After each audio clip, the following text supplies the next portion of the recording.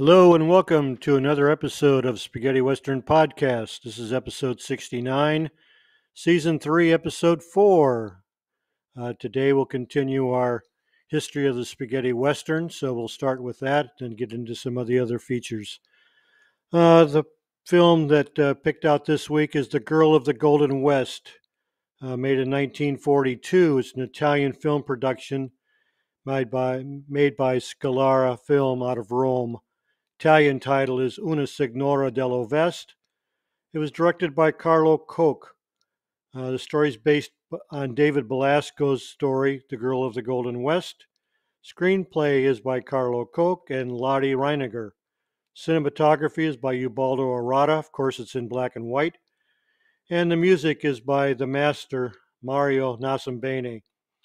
Uh, the main actors and actresses are Isa Pola, who plays Arianna, Michel Simone plays Samuel Butler, Rossano Brazzi plays William Evans, and Valentina Cortese plays Madge Curtis. Uh, the story goes that Arianna, played by Isa Pola, an actress in a variety show, along with fellow actor Diego Caras, played by Renzo Merusi, start on a journey traveling to the West in search of new employment opportunities. The two join a wagon train organized and led by a wealthy rancher named William Evans, played by Rossano Brazzi of South Pacific fame. The wagon train leader takes Arianna and Diego to Butler, played by Michel Simone, a large landowner who grants them the use of an old abandoned mine. Butler turns out to be a troubled individual who kills Diego, then tries to pin suspicion for the murder on Evans. Arianna falls for Butler's flattery, not suspecting that he was the murderer of Diego. Years later, she learns the tragic truth and in vain searches for Williams or William, who in the meantime is married, leaving Arianna a life to live in solitude. Uh, we'll go over the main actors and actresses a little bit, give you some bio on them. Arianna, who's played by Isa Pola, whose real name is Maria Betty de Montesano, was born in 1909 and she died in 1984. She was an Italian theater and film actress who appeared in more than 30 films during her career. Uh, Michel Simone played Samuel Butler. His real name is Francois Simone. He was born in 1895 and died in 1975. He was a Swiss actor who started his career on the stage in 1920. Moving to Paris, he appeared in his first film in 1925. He went on to appear in over 125 films. Then we have Rossano Brazzi, played William Evans. He was born in 1916, died in 1994. He was an Italian theater and film actor, appeared in over 150 films, and like I said, he's best known as appearing in South Pacific. Uh, then we have Valentina Cortese, who played Madge Curtis. She's real name is Valentina Rossi Coenzo. She was born in 1923 and died recently in 2019. She was an Italian film actress who was married to American actor Richard Basehart. She appeared in over 100 films. So that wraps up the history of the spaghetti western or Italian European western for this week. Moving along, we're going to cover whatever became of, and I picked out Lionel Stander this week. He's one of our favorites. Uh, Lionel Stander was born in the Bronx, New York on January 11, 1908. He was a theater, film, TV actor.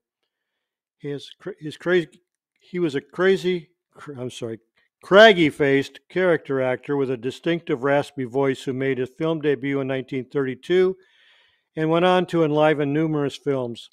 Stander was memorable as a cynical press agent in A Star is Born in 1937. Away from the cameras, Mr. Stander played something of a starring role in the political history of Hollywood. Fiercely liberal, he made a memorable appearance in 1953 before the House Committee on Un American Activities, which had been investigating communism in Hollywood for years. While many witnesses saved their careers by informing on others, Mr. Stander lectured the committee on democracy and due process of law and refused to repeat under oath his former frequent denials that he had ever been a communist. Stander had helped organize the Screen Actors Guild, raised money for the Spanish Loyalists, and campaigned for the release of the Scottsboro Boys. Hollywood executives regarded him as a commie. One day in August 1939, his agent, Aim Vogel, told him, Don't worry, Lionel, it'll blow over. Lionel said, I've always been lefter than the left, and I've worked very closely with the Communist Party during the 1930s, but I never joined. He was blacklisted in the early 1950s and supported himself as a stock player and Wall Street broker before resurfacing in international films, particularly spaghetti westerns in the 1960s. He later played Max, the eccentric chauffeur, on the TV series Hart to Hart from 1979 to 1984. Stander died in Los Angeles of lung cancer on November 30th, 1994. Lionel was married six times and had six children. I won't go into the his wives and kids. I will go over his filmography quickly. He started in Beyond the Law in 1967 with Lee Van Cleef played the preacher.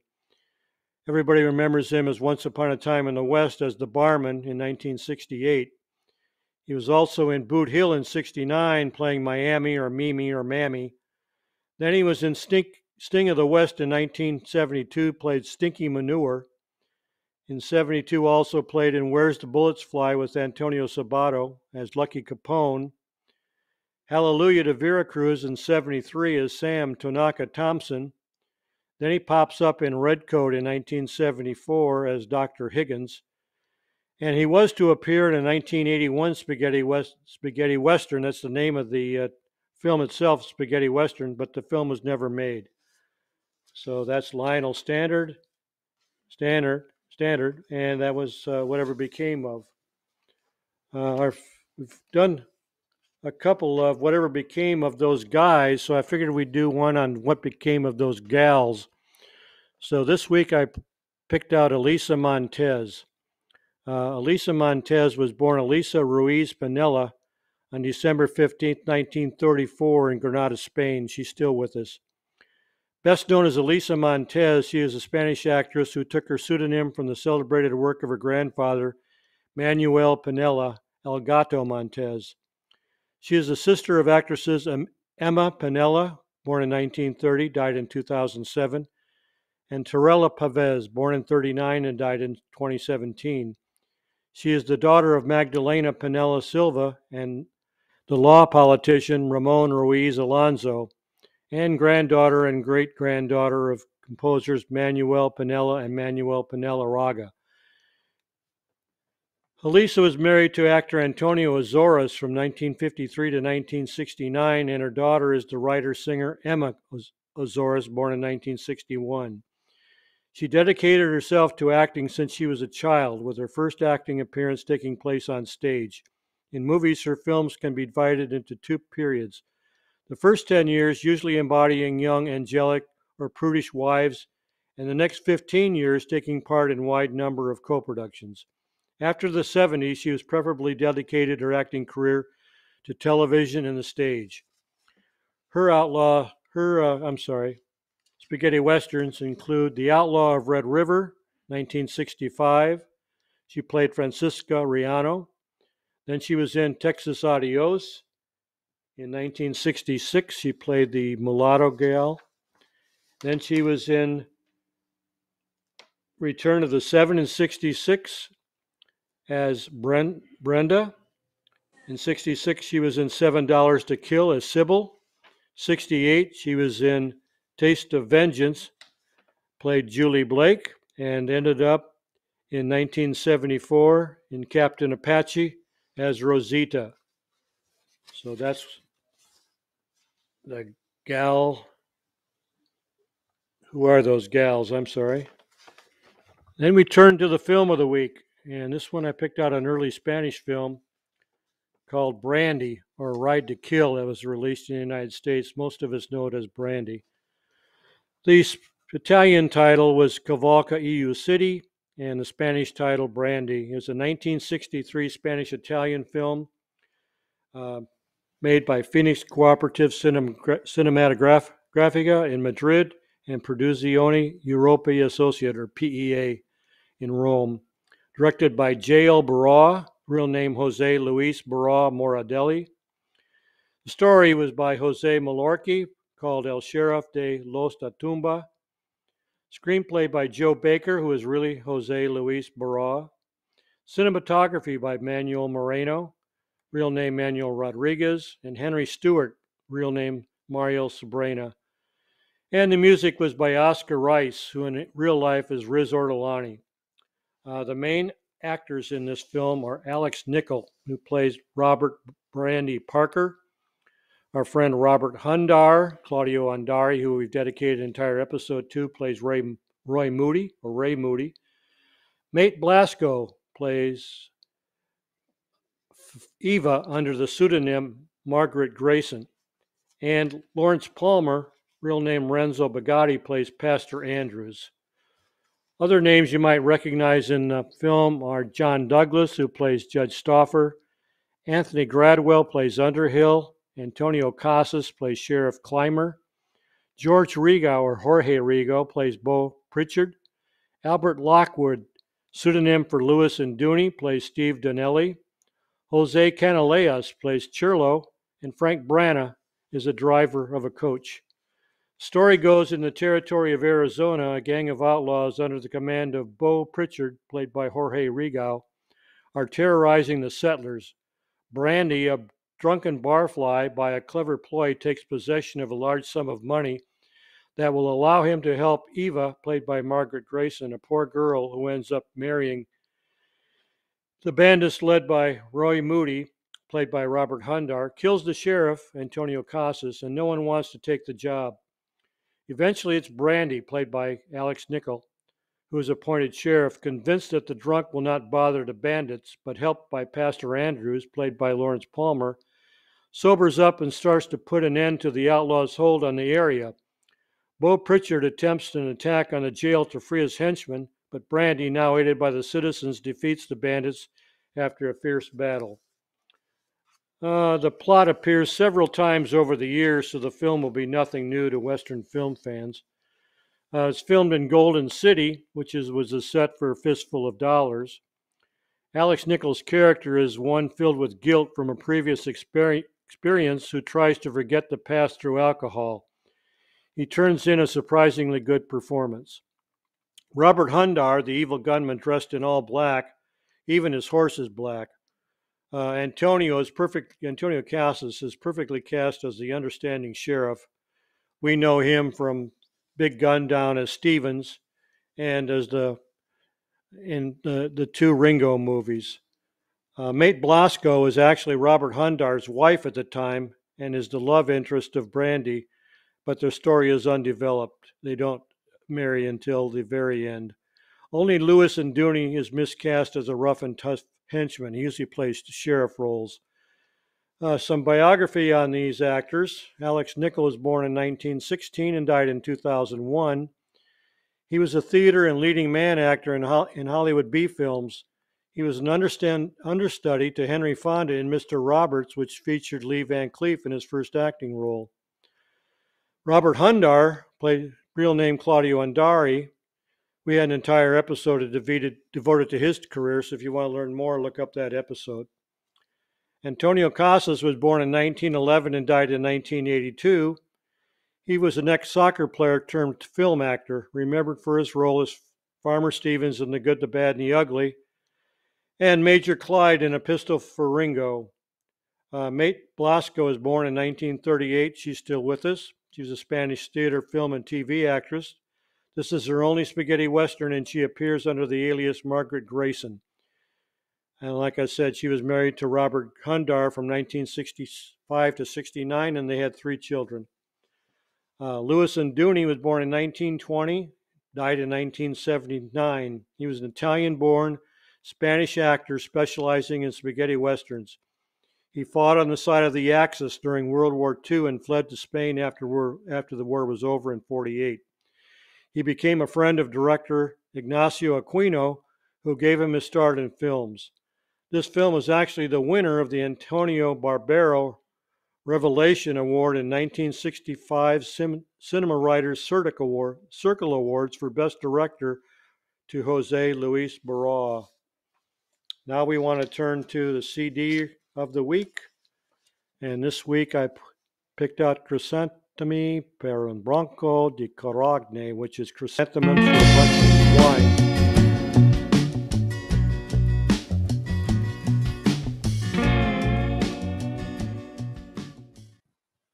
I'll go over that again. Uh, CD of the week is Crisantemi per un branco di carogne, which is chrysanthemums for a bunch of swine, also known as A Wreath for the Bandits. It was directed by Sergio Pastore and stars Edmund Purdom. It's on the Beat label, number BCM 9510, has 26 tracks and a total of 41 minutes and a 16 page booklet. Uh, the chrysanthemums, we don't know if it was ever released, but the CD was released in it for it. Okay. Uh, then we want to go to Book of the Week.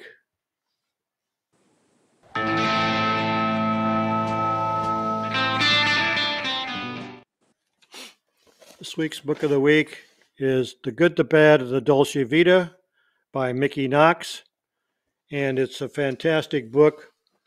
Not too many pictures in it, but there are a few. And the best thing about it was he really goes in depth over his time in Italy. So if you really want to know how Italy was during that golden age, pick up this book. It's a great read because he starred in Hollywood films before he went to Italy and then became a uh, a, a, writer and was uh, helped Sergio Leone uh, in in his films the good, the bad, and the ugly, and some of the other ones. Even though he's not a, he's not credited, he'll mention what he did in those films. So uh, pick it up. It's probably still available on Amazon.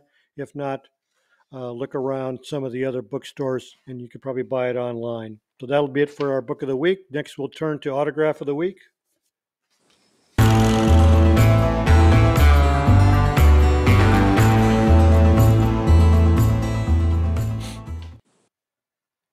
Hey, this week I picked out one of my favorites, Gilbert Roland. Uh, like Eli Wallach, he stole every picture and every scene he was ever in. I got this one. He was back in the 90s, I think, towards the end of his life. And he actually sent me some pictures from uh, some of the other spaghetti westerns that he was in because I mentioned I enjoyed him starring in those roles. All right, that'll do it for that. We'll turn now to the weekly news.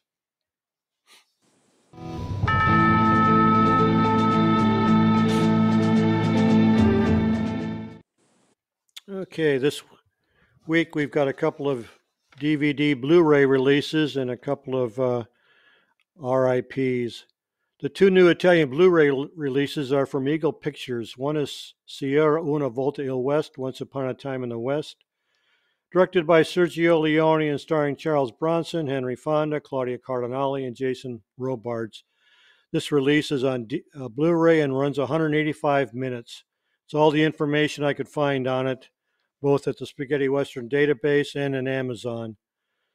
The second DVD is Per Qualche Dollaro in Più, which is, as we know, for a few dollars more. Directed by Leone and starring Clint Eastwood, Lee Van Cleef, and Gian Maria, Volonté. It runs 132 minutes, and that's all the information that they give on this one. Uh, on our Boot Hill section, a big one died this week. Uh, Hardy Kruger. Kruger was considered one of the post war Germany's best actors. He died at, died at the age of 93. Uh, press release was he died suddenly and unexpectedly on January 19th in Palm Springs, California, where he lived with his third wife, American born writer Anita Park.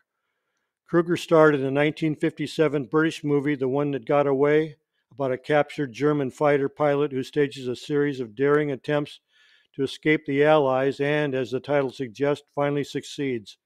His charm, good looks, and the fact that he deserted from the Nazi army towards the end of World War II helped Kruger land further roles at a time when Germans of his generation were still eyed with suspicion abroad.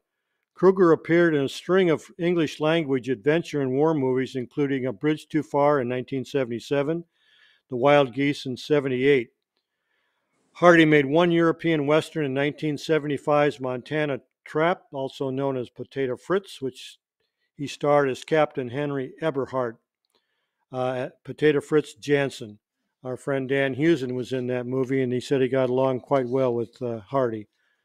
Uh, the other person that died this week is Italian actor Camillo Milli. He died in Genoa, Italy, after a hospital stay for COVID 19. He was 92. Uh, Milli was born as Camilli Migliori in Milan on August 1st, 1929.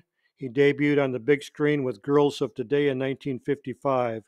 He went on to appear in numerous roles in Italian films.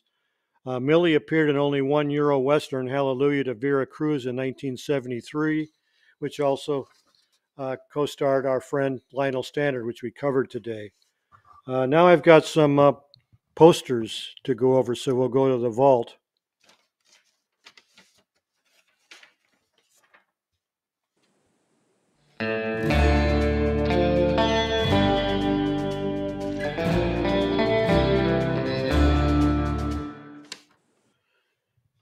To stand up for this one. Most of these are uh, Belgium posters, but a couple of them are pretty big.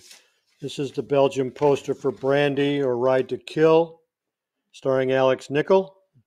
We've also got Lisa Montez poster for Yul Brynner, Return of the Seven. And this is a, uh, a French poster. And they've also put another title down at the bottom, which I believe I wrote on, down on the back that it was Swedish. Okay, then we have uh, poster for Lionel Standard. I'm sorry, Lisa Montez was in this one. She actually gets billing on this one with Johnny Garko. And that one is A Taste of Vengeance. We have a couple of Texas Adios that Elisa was in. This is the Belgium poster. And then a huge one here. Let's see if I can do this. I'm going to have to do it in sections probably.